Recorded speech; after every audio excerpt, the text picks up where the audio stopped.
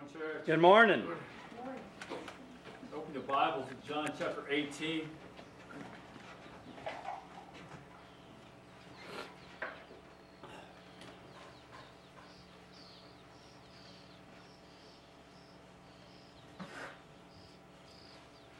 See everybody this morning. I'm going to hopefully finish what I started a couple weeks ago. If we can. Get as far a couple weeks ago as I wanted to, but we got so far, but I stopped. But anyway, as I look back, I was in John 13 a couple weeks ago, two weeks ago, and and this is the last verse that I read. In John 13, 38. It says, Jesus answered him, Wilt thou lay down thy life for my sake? It says, Very verily I say unto thee, the cock shall not crow till thou hast denied me thrice. And to jump to John chapter 18. And move right along, hopefully, with this. Talking about Peter.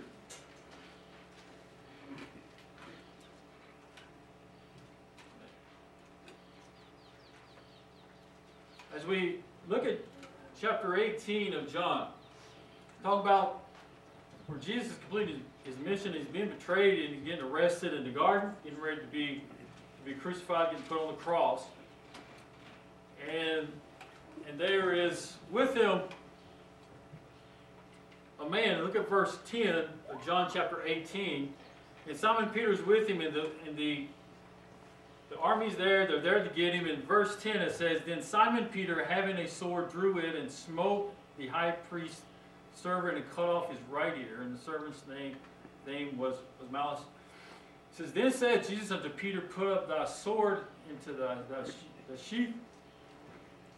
The cup which my Father hath given me, shall I not drink it? So let, let us pray. Most gracious Heavenly Father, we just thank you so much for this day. We thank you for this opportunity to be here. We thank you for every note played, every song sung so far, and every prayer prayed. And right now, we just pray right now, Heavenly Father, that you'd move me all the way. You speak to us what we need, so we'll leave here better than what we came in. And hopefully, our faith will be built up even stronger. We thank you so much for the praise that's went on and the prayers that's been going on this week till till we get to come together today. And Lord, we just thank you so much for that. Thank you again for everyone here and the purpose for being here. When you have a word for them all, we just pray you'll just speak to us today. In Jesus' name, Amen. Amen. As we as we see this, we see that Simon Peter was with Christ when they come to get him, and he drew his sword and he cut off the man's ear. And then we see in verse verse 12, it says, Then the band of the Uh, and the captain and officers of the Jews took Jesus and bound him and led him away across. Bound him and said, led him away to, to Ananias first, for he was, was father in law of Caiaphas, which was the high priest the same year. And Caiaphas, practice all week and you get it wrong when you preach, right? Says he, Caiaphas, which, he, which was he, which gave counsel to the Jews that was was expedient that one man should die for the people. Now, verse 50 through 17 is key. I want to look at it right quick. It says, And Simon Peter followed Jesus, and so did another disciple. That disciple was known unto the high priest, and went in with Jesus into the palace of the high priest. In 16 it says, But Peter stood at the door without. Then went out that door other disciple, which was known unto the high priest, and spake unto her, kept the door and brought in Peter. Then saith the damsel that kept the door unto Peter, Art not thou also one of this man's disciples? He saith, I am not. As we look here that in our life, we see that we're sort of talking about Peter, and the verse that I read in chapter 13, to go, go back to that just a little bit, is we're going to have to go back. He said, You're going to deny me three times before the cock crows. That's what Peter was told. Christ told him that's what you're going to do. And now in chapter 18, we see that he was with Christ in the garden while Christ was praying before he's going to get crucified. They come to get him. He cut off the man's ear. Life is easy when we're standing with God and we have the... Let me rephrase. We are stronger when we stand with other people who are Christians with us. Yes. It's easier for us. It's easier for us to think, yeah, I'm in, I went to church today, yes. I went and there's people praying for us. It makes it a lot easier for us, right? Yeah.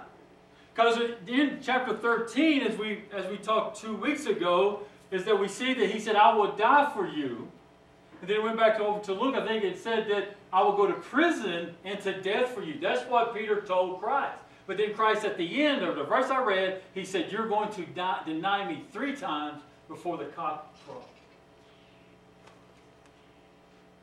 How do we do that when we're standing with people that are other Christians? It, it, it's easy because we have strength in numbers sometimes, right? It's easy to be a Christian in here today. It's easy to have a little bit more faith today because look where we're at. There's people praying for us. There's people there's people that, that are here with seeking the same thing that we are, a Savior. We need help. Everybody in this place, we all need help today. That's why we're here. Yes, there's one man that can do it, and that's Jesus Christ who came and He saved me. He's the one that died on the cross for all of my sins. He's the one that took all the all the pain and all the things for, for my for my healing and and and, and uh, gosh. Stay focused, Rick. But we see here that Simon Peter he went on down, and, and so so so they, they took Jesus there to all this stuff. Now, Simon Peter was there, but a damsel saw him as he was going in, and now he's alone. And what's the first thing that he does? She has seen him. I, aren't you one? Aren't you one of those? Are you one of those people? Huh? How many ever heard that? How people tell me that? You're one of those, aren't you? Mm-hmm. one of those what? You know, you know, I, just this week I had somebody mm. tell me, why, why are you making this about religion? I said, what are you talking about? They said, about saying you're a Christian. So that's what I do. I'm here for that. I'm trying to make disciples. I'm trying to make other Christians. I'm trying to help the people know they need to be Christians. Don't know what else you wanted to hear, but that's what I'm here for. I am here to help. Glory. You know what? I don't think they wanted anything that I had. and that's okay. I'm just here to help them any way they want to. If they don't want anything, there ain't nothing I can do about it, right? Why? I'm there alone, right? I'm outnumbered. Either deny him and say, okay, yeah, I'll go along with you, or I'm going to say, no, I know who put me here. I know who gave me the strength to be here today and stand firm with what I have to try to believe. What, what, again, what I try to believe. Why? Because I know that there's times in my life I have doubted. I said, God, I don't know how I'm going to get through this thing. But I need you to help me, right? So what do we do? The first thing that we do, yeah, we get around and we get by ourselves. She said, this is what it says. It says, Then sat the damsel who kept the door, Art not thou also one of this man's disciples? He was a disciple of Christ, and he denied him. He's already denied him once. Now, if you go on through 18 through 24, this is where Christ is he's in front. He, you're going over in verse 22. Now they're asking him questions there through 21 there. In 22 it says, and, and this was it says, and when he had thus spoken, Christ had just spoken. This is one of the officers which stood, struck Jesus with the palm of his hand, saying, Answer thou the highest priest. So he's being struck, been hit. All these questions are coming at him. Christ is answering them. And Peter's over here denying. He's already not even once. Now, 25 through 27. We want to look at this. And hopefully I get somewhere else. It says that Simon Peter stood and warned, and warmed himself. He's outside there. It says, they, they said therefore unto him, Art not thou also one of his disciples? He denied it. He said, I am not. There's number two. Again, this is a, disciple. 26, it says, One of the servants of the high priest, being his kin, kinsman, whose ear Peter cut off. Wait, did I just tell you about that one? That's right there, number 10 there. So this is the relative of the, of the person that he cut the ear off, said, Did not I see thee in the garden with him? Peter then denied again, and immediately cock crowed. We see here that Peter, I'm going to hopefully get to where he spoke three times. This is three times here he spoke by denying Christ, by denying being the disciple, by denying that he even walked with him. How many times have we denied him ourselves? What's so great is, is that we're going to find out that it doesn't matter how many times he still loves us, he's still going to come to us.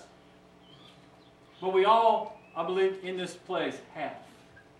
One way, shape, or form. We may not know it sometimes, but sometimes we do.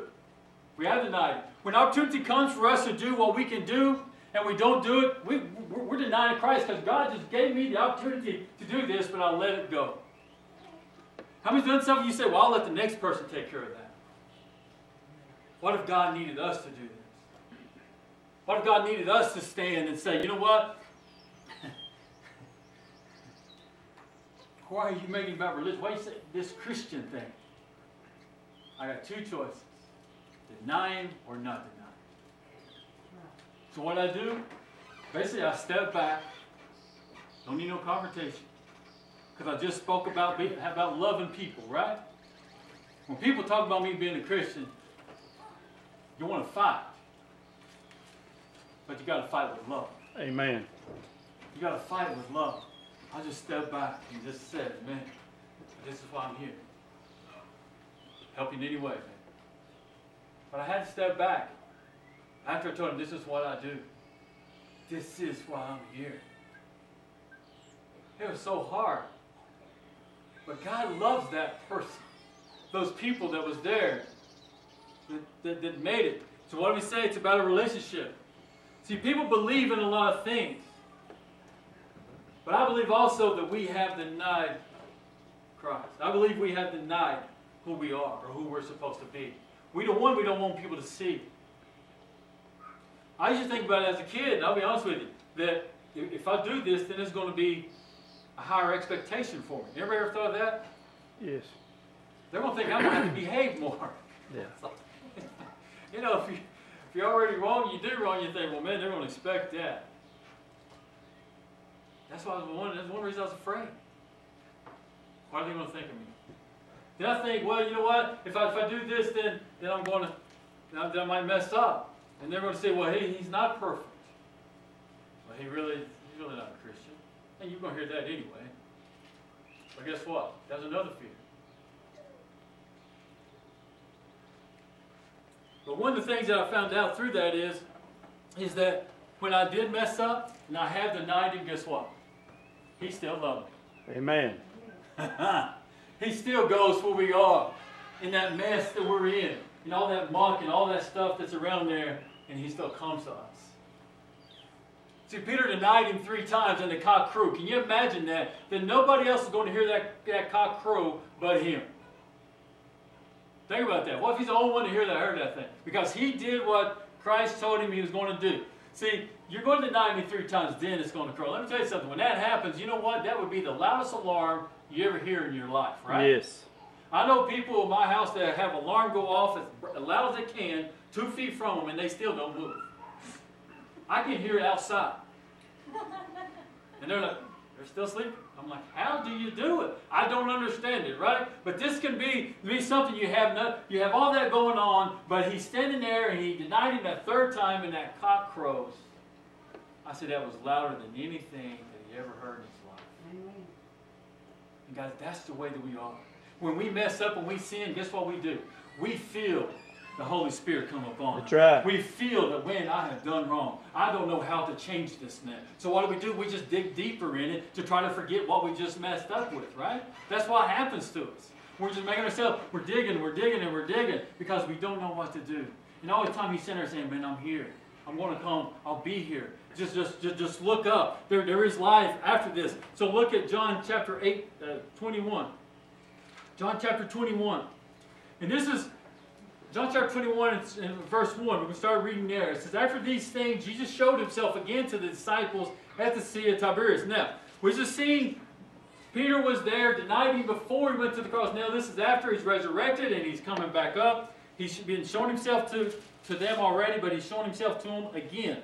And then it says, There were together Simon Peter and Thomas called Didymus and Nathanael of, Canaan of Galilee and the sons of Zebedee and two others of his disciples. They were all together after this now, right? Now, verse 3. So Simon Peter said unto them, I go fishing.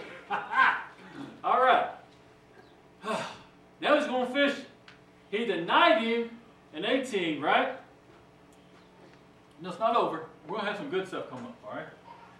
He denied him, and now he's going, and, and Christ has already showed himself a couple times to him, and now they're, he's going to show himself again, but right now, he said, I'm going to go fishing. Other disciples went with him fishing. Now let's go on down. He said, I'm going to go fishing. He says, they said to him, we also go, go with thee. How many's ready to go fishing? Somebody in here has a boat. How many like to go on a boat with him? We would, wouldn't we? We're not going to worry about what to do sometimes. We can go, we're going to go with him, man. How? Right? Yeah, we have a whole lot. More the merrier. How many's ever heard that, right? Yes. That's what we do. The more the merrier, man. And that's the way that we that that that that, that, that, that we have been. So, you know, they're going fishing. I'm not saying it's a bad thing where they're going. This is what they're doing. It says they went forth and entered to the ship immediately, and and that night they caught nothing. Guys, we're getting ready to go back to this is looking like Luke chapter 5. Remember Luke chapter 5 said launch out to the deep. They went, they caught nothing, but Christ come and they caught boom, a big boatload, whatever boat was getting to sink. So now this is basically going to be the same thing. We see that they go out, they caught nothing. Now this is verse 4. It says, But when the morning was now come, Jesus stood on the shore, but the disciples knew not that it was Jesus. They don't know what's going on yet, but Jesus is already there. All right, let me tell you something. We can go fishing all we want. But if God needs our attention, He's going to come where we are. That's right. Right? How many likes that? Yes. Well, how many thinks he's being too nosy? I want to fish. He said, I'll let you fish all night, and you got absolutely nothing. Now think about this. We were going down a little bit. Shark's like, he's an idiot, right? Sorry. That's why we say sometimes. All right, it says, and Jesus said to them, Children, children, have ye any meat? They answered him, No. Well, they didn't catch anything. What do you think, right? Then that would be me. I would be the one that wouldn't catch anything. Then he says unto them, Cast the net to the right side of the ship, and y'all shall find, and, and ye shall find. They cast therefore, now they were not able to draw it for the multitude of fishes. Therefore that disciple whom Jesus loved is, is the Lord. Now when Simon Peter heard, Simon Peter heard that it was the Lord, he girth his fisher's coat unto him, for he was naked, and did cast himself into the sea.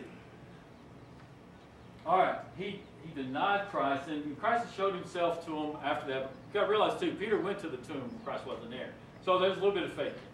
So we see here that when they said that it was Christ, he's sitting there, didn't have anything known, not sure exactly why all the way, but he, he grabbed his coat, went got in the water.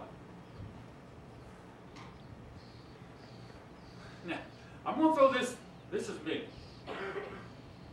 I'm sitting here thinking, he knows about his past, what he's done with Christ, denying Christ, right? Sometimes how many baptism? Get baptized, you die to sin, you come up when you're new. Right? I think some way I'm hoping and praying, and I don't know, I'll ask him to get to heaven. I'll do some more research and looking, but I want to look at this as what if this was his way of saying, you know what, I'm so dirty, man, I just need to be clean. He just goes and jumps in the water. We see that in, in, in, 18, we see that he spoke with words. He spoke by denying Christ. Here where he's speaking by his actions. One, he's going fishing. Sometimes when things happen, we just go and we get deeper, but we go on, but we just need to go fish and get away. Christ said, that's fine. You get away, you think a little bit about it. You, again, he's with other disciples, so there's a little bit of strength in numbers, right? And they may be saying, it's all right, Peter, it's okay, this, that, and the other. We, do, we don't exactly know. And there's other stuff going on in between that, but we, we're just talking about this right here for right now. And so, so we see that all this stuff going on. But then he's, they know that it's Christ there, and then he goes, puts on the thing, and runs and jumps in the water. I keep, it, it's just killing me. But he jumps in the water.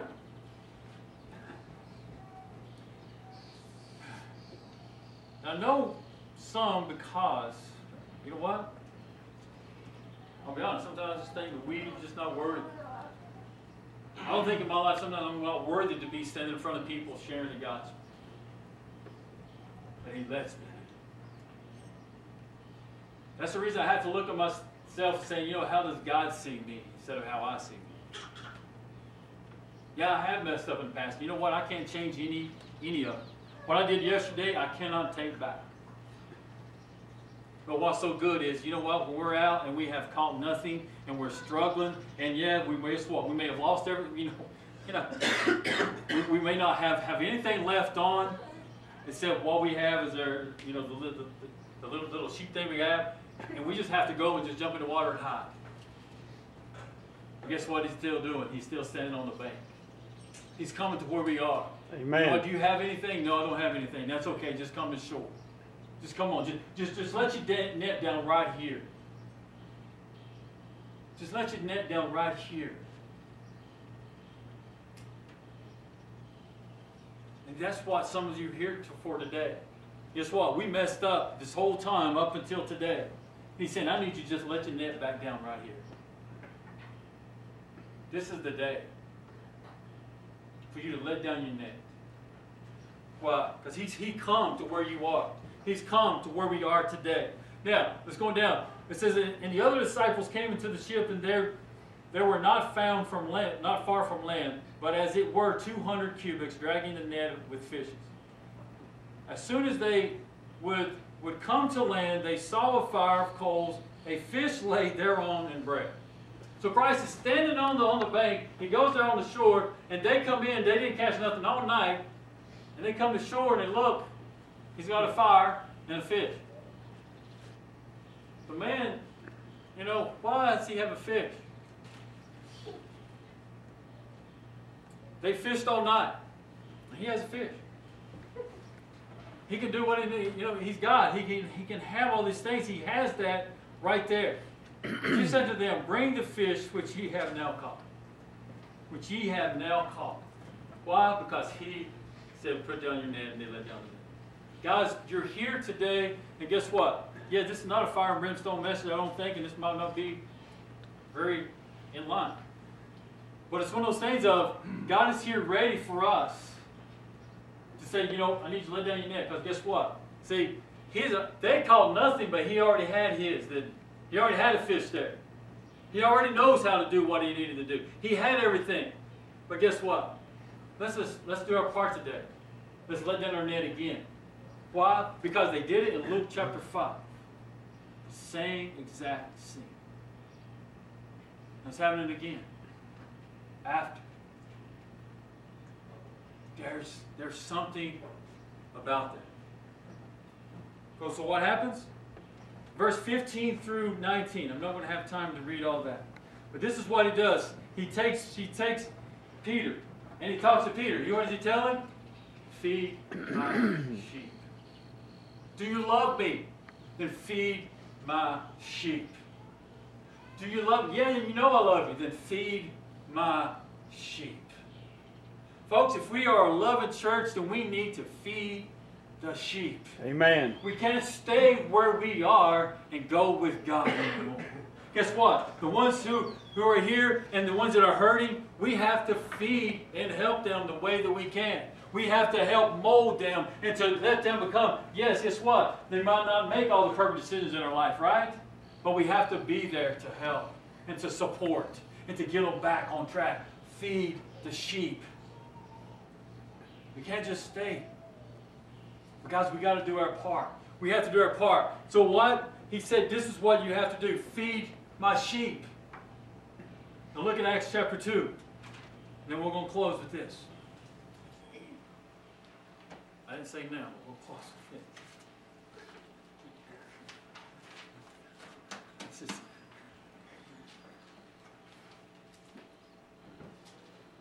in Acts chapter 2, now we see that, and still we're going to talk about Peter. Peter spoke with some with some actions, this and the other, and then he, he talked to God. Now here is the this is the day of Pentecost. Acts chapter 2, verse 1. It says, And when the day of Pentecost was fully come, they were all with one accord in one place. And suddenly there came a sound from heaven as a rushing mighty wind and filled the house where they were sitting. And there appeared unto them cloven tongues like a, like a fire and set upon each of them. Now,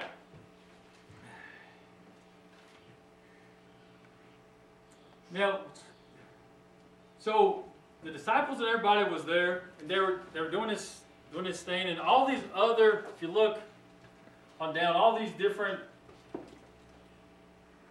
people were there, different different backgrounds, different places from different places, this and the other. But what's happening is is they're talking, but they're hearing in their own language. They're hearing it in their own tongue, in what they're used to doing, right? Now this is what this is where I want to go. Verse 14. Now, verse 13, it says, Others mocking, these men are full of new wine. So these, these men are saying, you know what? They're, these men's got to be drunk. These people are full of this new wine because it's just crazy talk. But this is what, verse 14, it says this. But Peter standing with, standing up with the eleven, lifted his voice and said unto them, Ye men of Judah and all ye that dwell in Jerusalem, be this known unto you, and hearken to my words. He went, he spoke with denial then he spoke with some actions of going fishing, and then then then then, then he goes and he jumps in the water, but now he's speaking with some preaching. It's a long way from the now, isn't it? Yes. When you can come and you can stand before somebody, and you can just do that because of what he's done. He come to you after we've denied him that much. He still loves us. I'm going to keep coming. I'm going to keep sending people that your way. You know, this is what it says in verse 15. It says, for, for these are not drunken. These are not, these men are not drunk. As you suppose, seeing it but the third hour of the day. It's early in the morning. So he's sitting there and saying, look, these men are not drunk. So why did these men hear in their own words? See, it goes back to, to me, and I've said it here before. When I preached that at a place one time, I got done speaking, and there was a lot of people when I was leaving, right? And one gentleman come to me and said, asked me, said, where did you learn to speak Spanish? I said, what? He said, where did you learn to speak Spanish? I, I don't know Spanish. Oh, well, it was good. so, I was like, well, I was, I was going crazy. I said, okay apparently I said something wrong or something. I didn't know. I, I didn't get it. It took me forever to figure out. But I believe if God needs to get something, if He'll take Spanish, I believe God. I believe God is that powerful to where He can let me hear something, whatever I need, in my language that I need at that moment. You know, I believe God can do these things. Now I'm not saying that I spoke. I didn't speak no Spanish.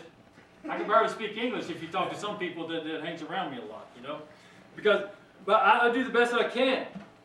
But, but I think about this because guess what? Yes, they were, they, were, they were talked to in their own language, in their own tongues. But guess what? I don't speak Spanish. I don't do anything. Because I, you know how I can know? Because I went to some other place and I was helping to witness. Somebody pulled me over there and they wanted me to talk to this guy. Guess what? He spoke in Spanish. I did not know Spanish. And I spoke my English to him, and guess what? He didn't get it. I mean, and guess what? He was speaking to me. I didn't get it. So one thing I can do now is when I go do witnessing, this and that and the other, when I run into Spanish people, I have Spanish tracts and I have Spanish books that they can read. Now, I can learn Spanish, can I not? There's, there's all kinds of things. But I believe that here we see that these men heard, these people heard in their own language, and now Peter's standing up there, guess what? This is probably Peter's biggest thing that he could do is to stand up and say, you know what? These men are not drunk. No way. These men are not drunk. So what does he do? He starts speaking. And then in verse 21, he says this. It says, And it shall come to pass that whosoever shall call on the name of the Lord shall be saved. Amen. And guess what? That is the biggest worst verse right there for me in this part right here. That guess what? He's sitting there saying, you know what? I have denied him. Yes, I have messed up. Yes, I had to jump into the water because I didn't have nothing on to get, and he had to throw whatever it may be. But guess what? He jumped into water, he did what he had to do, went on shore, and now look at him after. guess what? He got it. God came and he changed his life, and guess what? He got it. He, he did not run from this. He did not. He stood up with them and said, This is what can happen, guys. This is what can go on in their lives. We don't have to keep worrying about all these things. Guess what? We can just stand firm in what we know. Guess what? I don't know everything, but I do know this. I know I am saved. I know that God has changed my life. We don't have to be perfect or the best at what we do. We just have to know that we're saved. We got to know that we have a relationship. On those days that we don't feel like we have one, guess what? We know we do. Amen. That's the difference. We know we do. Yeah, when we have messed up, but we know we have a relationship. We know that He has saved us. We know that He's come to where we are. And guess what? He's still working on me. He's still working on me. And then guess what?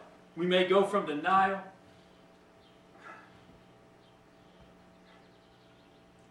then we can go to preaching. And guess what? And I'm not talking about you have to be a preacher. Go back to 18 when he went in and the damsel saw him. Guess what? And the kinsman saw him when they cut off man's ear there. People are watching us. And I said he spoke with actions, right? This is one of the biggest actions that he could have had. The reason I put different things is uh, every one of my points could have been he spoke with an action. He spoke with an action. He spoke with an action of denial. He spoke with an action. Well, I didn't want to do that. I just wanted to be different and mess everything up, right? Then I have to get my mirror to where I have to work a little more. But the biggest action that we can be is that we act like we are child, children of God. And we become what Christ was. And we go to the hurting, we go do what we need to do, and we don't say somebody else go. When you know, when you know people ha- ha- has a thing just like Christ, he, yeah, he had these fish, right? Watch better. Just come on over here. Just, just, just put your net down over here. That's what they do. They help build their faith, and they see what's going on. Oh yeah, you are truly God. Because things in my life have been, I have preached before, my life was going crazy. Things were not going right, and I preached here in this pulpit right here. And I said, my house, I feel like my, my whole house is burning down. At that moment it was. Not literally my house, just my life. You understand what I'm saying? But what did he do? He. Yes. Just do this, Ray. Just put your net down right here. Ray. Put your net down right here. Hmm. Might still be rebuilding the house a little bit. But guess what? Look where I'm at. Glory. And it lets me go into the jail and preach glory. You know, that's building my house back up. Glory. I have been in the denial. I have been in all these stages. And now it lets me go. Guess what? Going to the jail and preaching, there's no glory in that to people. But there's only one person that sees. God sees. Man. That's the only one that I'm worried about. He's the only one that needs to know. No, you don't, but it's okay. And I said a lot to you. What? Because that's where I go to church? I said I come here. It's the only reason here. It's the only reason. Because y'all know that I go. God's good. Yes, he's still building the house back. Right. Always maintenance to do on the house, right? Always maintenance to do. Brother Dave.